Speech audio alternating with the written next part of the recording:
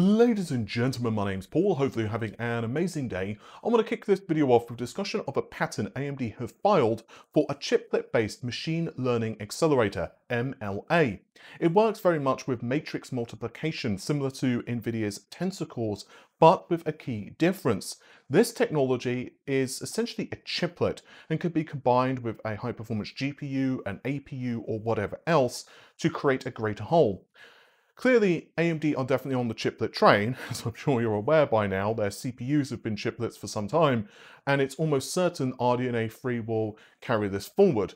We know from leaks that RDNA 3 is targeting to have 160 compute units, which is apparently over two uh, processing dies, each of those dies obviously having 80 CU each. And according to my early information, AMD are targeting about a 2.5 times increase in performance over what we have with, let's say, the RX 6900 XT, and this is a combination of, well, more CU, higher clock frequencies, and obviously IPC gains, as well as more memory bandwidth and other tweaks in the architecture. But let's have a look at this patent, because I find it particularly interesting for several reasons. The patent's name is Chiplet Integrated Machine Learning Accelerator. I'll of course link the full patent in the video description. AMD are describing this pattern as an MLA, once again, Machine Learning Accelerator, which is essentially a chiplet design which can be combined with, let's say, a GPU. This will then create an APD, Accelerated Processing Device. Now, the MLA can also be manufactured on a different package to what the, what the actual GPU is manufactured on. So, for sake of argument, RDNA 3 could be manufactured on 5nm, whereas the MLA, that could be created on 7nm, or it could just be manufactured by a different company. For example, Samsung could manufacture the uh, MLA, whereas AMD's uh, deal with uh, TSMC and of course the 5nm process would go ahead and they would be utilizing them for their GPU. In fact, there is a rather interesting side note to all of this. There is a rumor, I believe it was Harukaze who stated this on Twitter, but basically there's a rumor that AMD might be employing Samsung to produce some silicon for them in the future because of all these shortage problems. So maybe that could be one explanation for that, but this is certainly falling way outside the scope of what's stated here in the patent. And of course, a patent is just a patent. A patent doesn't necessarily become a product or the implementation of the patent may be different to what we see here. Though just putting a little bit of thought into it, it's not difficult to imagine several scenarios how this could be of benefit to AMD. DLSS has been one of the major selling points for NVIDIA, especially I think for RTX 30. Yes, the RTX 3080 or even the 3090 are really powerful cards, but a game like Control is not going to be playable at 120 frames per second with hardware-based ray tracing enabled, same thing for let's say Shadow of the Tomb Raider and so on and so on. So DLSS has been very important there I think. And yeah, um, DLSS kind of started with not ideal image quality. I think that we all saw that there was a lot of softness to the image. Hair in particular had a lot of haloing. It just didn't look great. Let's just be totally blunt. But this started to improve pretty drastically, and now the latest implementation, DLSS 2, is really good. And yeah, I went into this more extensively in my native resolution is dead video, which I'll link in the video description. Bottom line though, is that all of this, of course, utilizes NVIDIA's Tensor Cores, which is something that, well, AMD are kind of mirroring here, but again, it's on a chiplet design. This also has tons of benefits in terms of the implementation. So, for sake of argument, you could use this design for high-performance GPU. So, just an example, you could have two uh, RDNA 3 chiplets for um, compute side of things, so 160 compute units, and then you would throw one of these MLAs on as well, and then obviously that would be for high performance gaming. So you could get one of these MLAs as a chiplet and then of course throw it onto a high performance GPU. For example, RDNA 3 allegedly has two uh, compute based chiplets, so 160 uh, compute units total. So you could throw two of those on along with one of these MLAs, and that would create a high performance GPU, which could obviously do upsampling or whatever else using what we can basically call uh, tensor-like operations. Another possibility is that you could put one of these onto an APU for those who want to do maybe scientific research or high performance gaming on a more kind of uh, mobile solution. But You could also pair several of these chiplets for a GPU designed for the data center.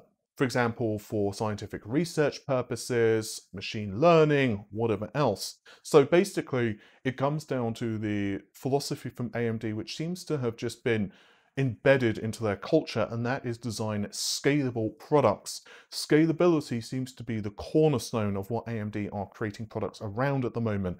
And yeah, we've seen that, of course, with RDNA 2. While RDNA 2 is not chiplet in nature, the design itself, for example, the Infinity Cache, just how the entire uh, compute units work, the architecture is extremely scalable. So you can create a design which is great for consoles or really great for high performance uh, desktop GPUs. And of course, this does seem to be carried forward with RDNA 3. And now we're going to shift our focus onto the Xbox Series S, specifically comments from a developer who have created Riftbreaker, um, which is a title which is running on Xbox Series X and S, and they believe that Microsoft's commitment to creating the Xbox Series S may have been great for customers in terms of giving them a cheaper option. However, the specifications of the hardware have created hardships for developers. Let's get into it. Full credit, by the way, to WCCF Tech for this interview, so I'll of course link it in the video description. Yes, the Xbox Series S requires additional optimization, and this is according to the COO of EXOR Studios, Powell Lekki, hopefully I pronounced his name correctly. While we're able to simply compile Riftbreaker for the Xbox Series X, and it just works, apparently he's been taking lessons from Papa Jensen, the XSS requires additional optimization. Still, it doesn't look like it will require that much work when running well at 1080p on the XSS, the best thing about the current architecture is the CPU power on both Xbox consoles is practically the same. Scaling graphical effects is a lot easier than scaling gameplay. The amount of available memory is a determining factor in a lot of cases when we talk about the size of a game world or how many things can be happening within the same given time. The size of the memory that is available on Xbox Series S is the actual determining point for the entire console generation, and gameplay features have to be fitted to the lowest spec. From the point of view of a developer, it would be much easier if there was a single Xbox Series X SKU, but given the circumstances, I think that Microsoft have made a good choice in how to create a much cheaper console that can still run next generation games. He also added, and this is regards to ray tracing, yes, we plan to have ray tracing effects enabled on next generation consoles. However, we don't have final performance results of the console models. For example, we'll be trying to be aiming for ray tracing effects enabled on Xbox Series X, while the Xbox Series S may have to have them in a reduced capacity. End quote. So let's have a look at the Xbox Series S's specifications. Looking at the CPU, it's almost parity to the Xbox Series X as the developer mentions, 3.6 GHz if you have SMT disabled, but 3.4 GHz if you're running with SMT enabled. Honestly, I think most games in the future will run with SMT enabled. We also have a 4T-flop GPU, uh, and that's running with 20 compute units at 1.565 gigahertz, and of course it's custom RDNA 2. The memory is the main point of contention here. We have 10 gigabytes of GDDR6 memory, with 8 gigabytes being at 224 gigabytes per second, and the other 2 gigabytes at just 56 gigabytes per second and wisely Microsoft have uh, kept the same amount of I.O. throughput, so that's 2.4 gigabytes per second raw and 4.8 gigabytes per second compressed, and this is with, of course, a custom hardware-based decompression block. Because the resolution targets of the Xbox Series X and the PlayStation 5 are way higher than what is being targeted for the Xbox Series S, which is 1080p or 1440p, this means that the Series S can typically get away with lower resolution textures and other assets, which should save quite a lot of RAM. According to Microsoft, the 10GB total RAM, or 8GB available to developers, should be sufficient. And I know it's becoming a meme at this point, but yes, Microsoft are improving the SDK and the tools for the Xbox systems. Of course, this is not happening in isolation, and Sony are doing much the same thing for the PlayStation 5. With the Xbox's SDKs, developers can better understand what assets are being loaded into memory, how they can optimize and improve performance, and naturally this is profiles for both the Xbox Series X as well as the Xbox Series S. A couple of points before we go forward. First of all, the uh, compressed data read speeds are actually worst case scenarios. In fact, it was said by Microsoft a couple of times now, I covered this more extensively, that in real world scenarios it's probably much higher than that. In fact, I believe it's the same for the PlayStation 5, um, but you can probably get much higher than that. However, they wanted to be more conservative with their figures, hence 4.8 gigabytes per second. The second uh, point is that Microsoft, of course, have two sets of memory for the Xbox Series uh, uh, X as well as S. So this slower RAM pool, which is just two gigabytes, is used primarily for the OS reserves. So the game resides in the 8 gigabyte portion, which means you've only got 8 gigabytes of uh, RAM at least available at one time for games developers, which means you've only got 8 gigabytes of RAM available for games developers. However, the idea, of course, of the next generation consoles is you can pull data really quickly from the SSD as you require it. This is something that Mark Cerny did describe during the Road to PlayStation 5 event. Basically, just because of the read speeds of the SSDs of the next generation systems, you don't need to worry about the slow, to be honest with you, not exactly responsive uh, mechanical drives of the previous generation, which took absolutely ages to stream data into the uh, memory.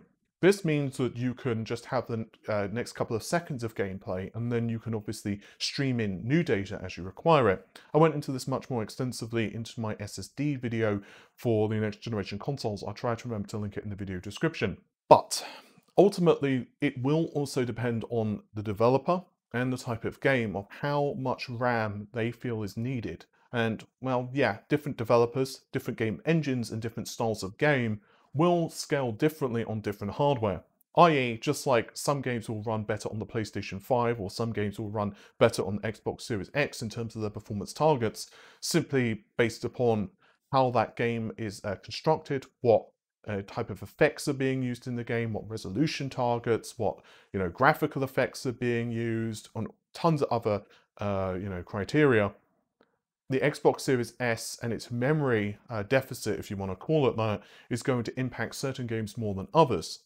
From the perspective of a gamer, I don't think that I'm personally interested in the Xbox Series S, but I know tons of people who have purchased one because they're not maybe such hardcore gamers, maybe they don't have the budget for it, or yeah, it's just a secondary system in the home and they're happy to just use Xbox Game Pass or pick up the odd game as necessary and they don't have like a high refresh rate 4K television anyway to take advantage of it. So in those respects, I do understand the appeal from the gamer's perspective. Developers, though, I suspect that they're going to be a lot less uh, happy about this. Obviously, it's more work in terms of the optimization side of things, as you've got more hardware. But this is, of course, similar to what we saw with the Xbox One, Xbox One X, PlayStation 4, PlayStation 4 Pro, and let's just be really honest, if the PlayStation 4 Pro had just taken over completely over the PlayStation 4 and you no longer had to target PS4 base, for example, then it would have been a lot easier for developers. I think it's way too early at the moment in the console generation to know how this is going to impact the consoles in the long term. It's so early that no one really fully understands how to make full use of the hardware. And for Sony, obviously, this doesn't impact them at all when it comes to their first party games. For Microsoft and their first party studios, so for example, 343, well, yeah, they have the resources as well as, of course, the drive to really optimize for their hardware. It's really the third party studios that this is going to be a problem for. And as I mentioned a moment ago, I think it's going to be down to A, the type of game that you're creating, the game engine, as well as, of course, the skill, as well as the resources of the developer. Yeah, um, it could it could be that in some cases it does hold back the generation, or it could just be that the Series S version of the game is what is not ideal. Maybe there are some concessions for the Series S version, whereas the PlayStation 5 and the uh, Xbox Series S, uh, sorry, X versions, those are all shiny and amazing. Some titles, of course, they're not really held back at all other than the graphical side of things. Like we've seen, for example, uh, Control, the uh, you know remastered edition for the next generation consoles, that's targeting 1440p, 60 FPS with ray tracing disabled for the PlayStation 5 and Xbox Series X, but 30 FPS if you have ray tracing enabled on the Series X as well as the PlayStation 5, and obviously major cuts for the Xbox Series S simply because of the GPU performance. So it doesn't really seem to be the memory there. So again, it's going to be really down to the game engine and the developer and a lot of other things. It's going to be really interesting to see how this generation unfolds, especially now that we're starting to finally hear more about the Super Switch or Switch Pro 2. Um, of course, I first broke the story last year that Nintendo were working on a 4K capable Switch system, and from what we understand at this point, it is going to be 4K capable, but it is going to be much like the Pro consoles we've seen from Sony as well as Microsoft. So you will still need, of course, to be able to create a game which is going to run on the older hardware.